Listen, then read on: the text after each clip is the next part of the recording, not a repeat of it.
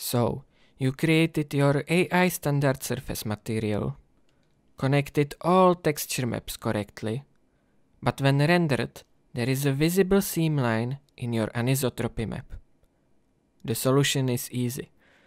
Go to the attribute editor, select your material, in my case named AI standard surface anisotropy, and under the specular submenu, click on the connection for the rotation map. The rotation map file node opens. Scroll down and open the Arnold submenu. Next to the filter type should be as default option selected Smart Bicubic. Choose closest instead. The visible seam line should be gone now.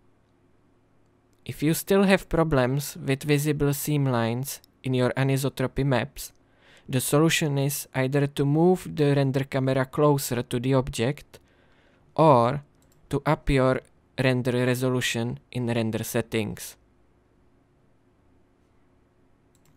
And that's it. The visible seam line should be gone now. If you find this video useful, please like and subscribe. Also, leave your suggestions for the future videos in the comment section below. See you next time.